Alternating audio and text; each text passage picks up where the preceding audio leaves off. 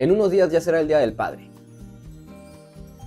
Un día en el que unos disfrutan mucho con su padre, pero pues otros no. A muchos les cuesta expresarse con sus padres. No miran las acciones que ellos hacen para el bien de nosotros mismos. Sus regaños, correcciones y mucho más. Ellos hacen lo mejor para nosotros. Para así poder enfrentar la vida que está llena de demasiadas cosas, como tener un perro. Sí, tú.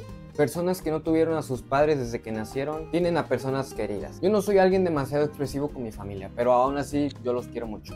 Cada y cada una de las cosas que hacen por mí, yo les agradezco Tal vez no les digo, pero pues bueno. Y ahora sí vamos al punto. Mi padre, que en paz descanse, mi padre me enseñó que por más mal que estés, nunca tienes que dejar la mirada abajo. Y esté siempre con una sonrisa.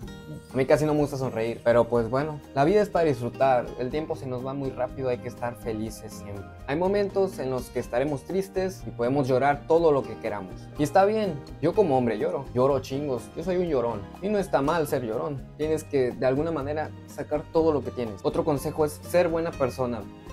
Por más personas malas que hayan, tú tienes que ser diferente. Yo sé que personas se aprovechan de esa amabilidad o esa buena persona que eres, pero nunca lo cambies. Las personas que te dicen que tienes que ser igual a ellos es porque no piensan en un progreso como tal. Te quieren, quieren estar estancados y estancarte a ti también. Júntate con gente que te haga bien. Aprovechen ese tiempo que estén con sus papás. O persona que consideres como tu mamá, abuelo o persona que te cuide. Sé que a veces la confianza con los familiares es complicada, pero bueno, mejor me callo yo. Nunca se sabrá cuándo esas personas se van a ir de este mundo. Así que exprésate con ellos, porque al final tú serás el que estará arrepentido de no hacer las cosas y de expresarte con ellos. Un corte es que a veces miro a la cámara acá. Te amo, padre. Nunca te lo dije. Pero, en serio, muchas gracias por todo. Gracias por todas tus enseñanzas que a lo largo de mi vida me han ayudado y avanzado mucho más. Y que siempre trataste de que yo fuera feliz. O sea, la palabra chiflado. Siempre me chiflaste y eso se agradece mucho. Porque gracias a ti estoy aquí yo. Te extraño como no tienes idea. Podría estar en esos momentos llorando por ti, pero tú no quisieras verme así. Me estoy dando cuenta que en este mundo hay todo tipo de personas y que no las acabas de conocer. Valoro todo lo que me has dado, aunque ya no estás aquí. Extraño, te amo, quiero. Mm, y feliz Día del Padre. Feliz Día del Padre a todos los papás. Personas que has conocido me han ayudado y eso es gracias a ti. Ok, llegamos a la conclusión de este video. Este fue un video corto que al final, que al final decidí sacarlo.